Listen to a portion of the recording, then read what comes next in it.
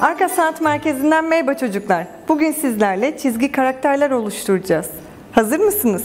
Hadi gelin başlayalım.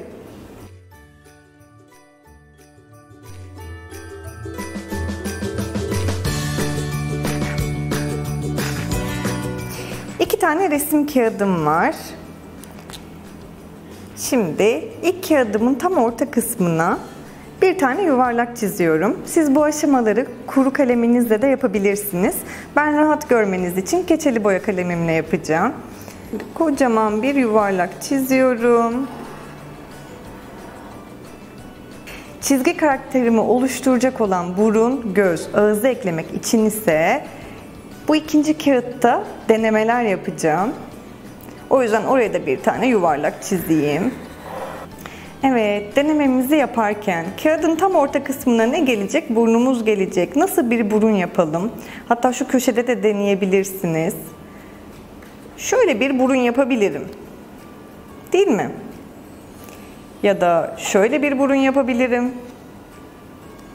Ya da şöyle düz bir burun yapabilirim. Yanlarında delikleri olur.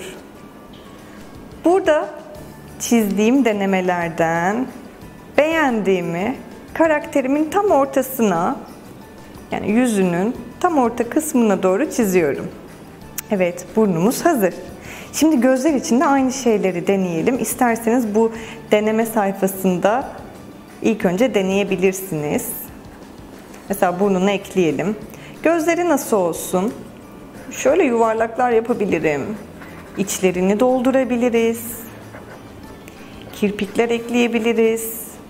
Başka nasıl bir göz yapabiliriz? Sadece şöyle üstten bir çizgi olsun mesela. Altında da bir yuvarlığa kalsın. Şöyle kaşını da ekleyebilirsiniz. Burada şimdi seçtiğim göz şeklini karakterimin üzerine çiziyorum. Sanırsam ben şu ilk çizdiğimi seçeceğim. Evet. Göz bebeklerini de ekleyelim. Gördüğümüz çizgi filmlerdeki karakterleri de böyle çocuklar deneye deneye oluşturuyorlar.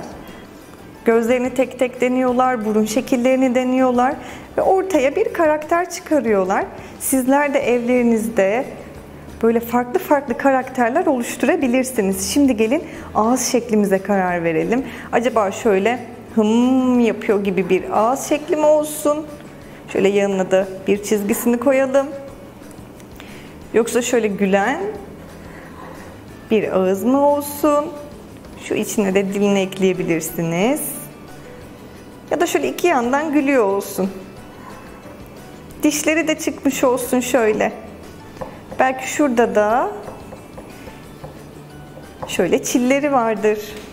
Şimdi burada denediğim ağız şekillerinden bir tanesini seçip hemen sizce hangisi en uygun olur?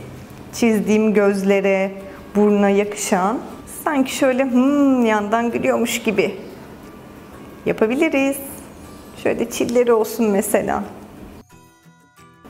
Şimdi ne yapıyorum? Şimdi karakterimin saçlarını ekliyorum. İsterseniz böyle dağılmış bir saç yapabilirsiniz. İsterseniz böyle daha düz e, saç ekleyebilirsiniz. Tamamen karakterinize uygun bir saç şekli yapabilirsiniz. Hatta ilk önce ne yapıyorduk? Böyle deneme sayfamız üzerinde de denedikten sonra ekleyebilirsiniz. Şimdi ben burada bir deneme yapayım.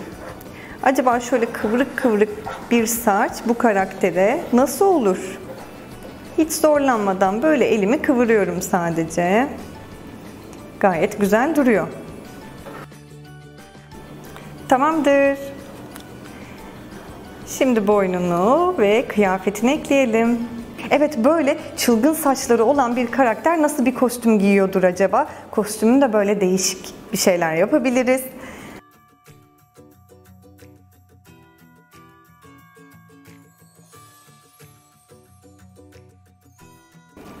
Evet, karakterimi oluşturdum. Şimdi ne yapıyorum? Şimdi de çizgi bir karakter olduğu için arka kısmı renklendirerek bu çizgi karakterimi daha çok öne çıkaracağım. Bunun için de siz isterseniz sulu boya kullanabilirsiniz, keçeli boya kalemlerinizi kullanabilirsiniz. Hiç fark etmez. Ben şimdi örnek olması için de keçeli boya kalemlerimle arkaya böyle farklı bir resim yapacağım.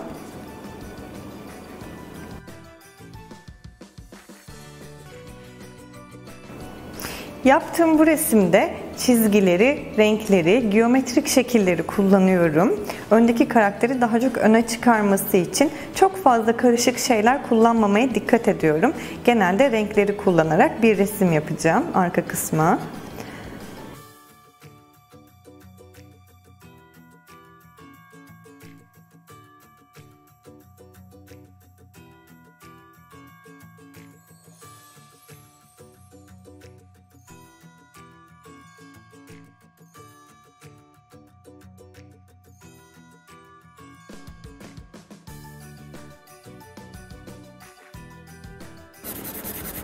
Evet, renkleri girdikçe, renkleri ekledikçe e, nasıl da karakterimizin ortaya çıktığını görüyoruz değil mi?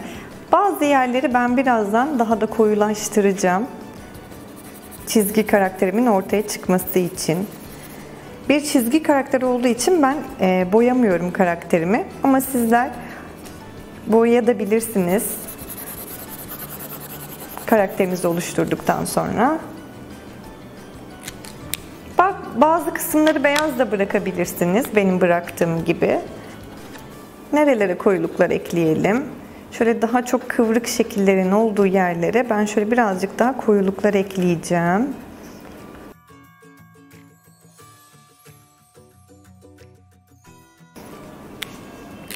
Evet, çizgi karakterim hazır.